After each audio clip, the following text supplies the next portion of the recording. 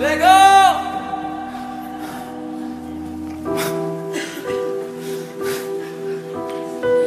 Vegard! Vegard, sitter du her nå? Vi, du kan ikke bare stikke av på den måten der. Vi var jo midt i Spiderman-sangen. Altså. Er det noe galt? Nei, Ja, men Jeg ser jo at det er noe som er galt. det er ingenting. Ja, men, si det til meg, da. Vi, vi må jo kunne snakke om disse tingene her. Er det noe jeg har gjort galt? Jeg vil ikke Altså, snakke om det. Ja, men hva, hva er det, da? Vi må er, er du misunnelig på mitt ytre, eller?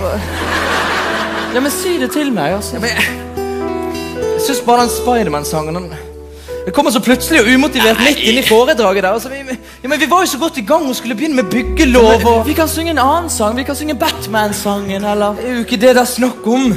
Hva er det det er snakk om, da? Byggelov. Vet, vet du at Helt siden du begynte med den byggeloven, så, så, er det akkurat som jeg ikke kjenner deg igjen lenger. Det er som om det er en annen gutt som sitter her. Altså, hvor, ble det av den lille gutten som løp over marken? Så vi kunne mobbe og sparke og slå uten at han slo tilbake. Altså, nå, nå er det bare en bijon frisé med et håndkle og en vest. Svar meg, da!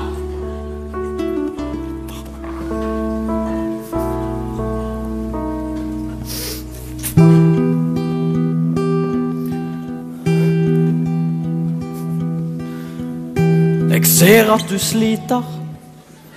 Vet du har det tøft. Alt vi hadde sammen, er blitt borte. Du stråler på scenen, men når teppet har gått ned, masken faller fra ditt fjes, og sjelen synker ned. Hva kan jeg gi deg? Hva kan jeg si deg? Lukk opp døren og la meg slippe inn. Så mye moro vi hadde sammen her på scenen. Hvor ble det av? Jeg roper etter deg. Gi meg et svar. Ser ikke skogen, for bare grønne trær.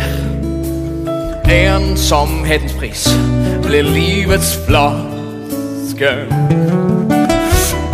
Jeg går over bekken, men henter faen meg ikke vann. Alle har vel kastet stein i glasshuset en gang.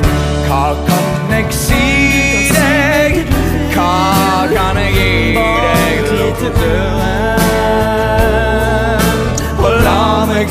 slippe inn.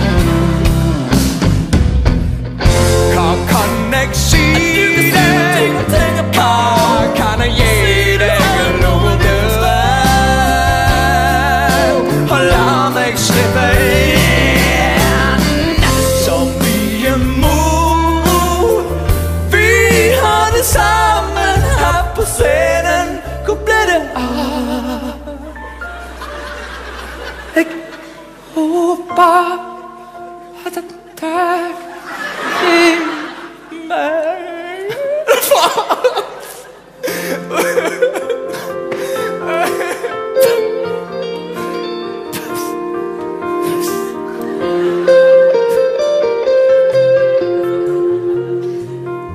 Hallo?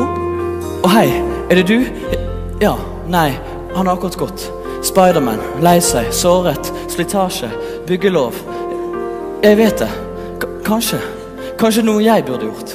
Kanskje noe jeg kunne gjort. Kunne villet, burde gjort. Burde gjøre.